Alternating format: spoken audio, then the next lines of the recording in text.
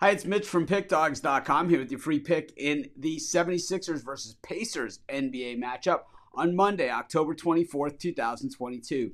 Here on YouTube, I do tons of free pick videos, so be sure to subscribe to our channel. We do free picks every day, sportschatplace.com, pickdawgz.com, right here on YouTube, as well as across social media and our live shows. And when you give out that many free picks, you're bound to like some games more than others and to find out which games those are, as well as to get best bets from some of the top handicappers in the world today. Head on over to our website, pickdawgz.com click on the premium picks tab. And while you're there, be sure to use the discount code 15 off. You'll get 15% off all of your purchases at sportschatplace.com and pickdawgz.com. But let's get to this one. We've got the Sixers taking on the Pacers, and the Sixers off to a little bit of a rough start to the season this year.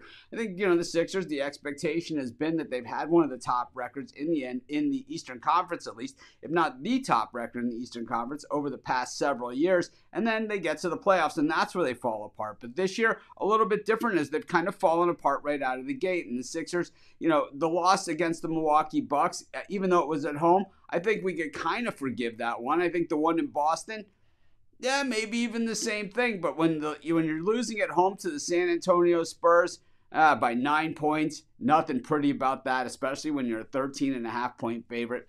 I just think that the 76ers maybe have some work to do here. When we look at the Indiana Pacers, this is a team that knows they have a lot of work to do, but at the same time, I think that they're doing the work and putting the pieces together. While the Sixers seem to have a nice veteran core, of course, you've got Embiid, you've got Harden, Maxey kind of coming into his own here, and you know you have plenty of other other big time talent at Harris. You got plenty of other big time talent here as well it just doesn't seem to be meshing all that well. And sometimes, you know, I thought that by getting rid of Ben Simmons and getting that dark cloud out of there, maybe it was time that the Sixers take a step forward, but we have not seen it so far. I certainly expect that we're going to see better things from the 76ers, uh, you know, this season, but right now they're not playing great basketball. I think maybe they grab a win here, but I'm going to take the points with the Pacers, and that's going to be my free pick.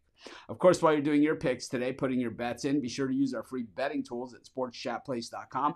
Our betting tools are 100% free, and the way they work, they show you just how often all the bets on the board today actually hit. Then they show you today's odds, and from there, you can assess the risk reward, putting yourself on the bets that come in the, be- in the most, pay the most. That's how you make money betting on sports.